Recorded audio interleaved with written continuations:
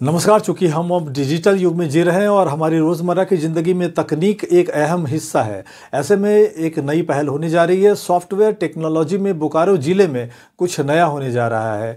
नए साल 2023 में बालीडी के बियाडा भवन के सामने 200 करोड़ की लागत से सॉफ्टवेयर पार्क का निर्माण होने जा रहा है। इसके लिए दो एकड़ ज़मीन की भी स्वीकृति मिल चुकी है। युवाओं को रोज़गार की तलाश में बाहर पलायन नहीं करना पड़ेगा। हालाँकि यह एक राजनीतिक स्टेटमेंट है, क्योंकि ढाई सौ लोगों को अगर रोज़गार दे भी दिया जाए तो पूरे बोकारो ज़िले का भला होने वाला नहीं है।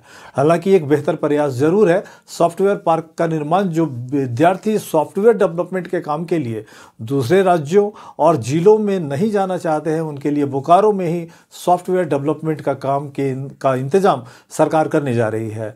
लगभग ढाई सौ युवाओं को रोज़गार मिलेगा तकनीक के क्षेत्र में आने वाला नया साल बोकारो के लिए बेहतर होगा। टेक्नोलॉजिकल अपग्रेडेशन को लेकर सरकार की ये बड़ी पहल है।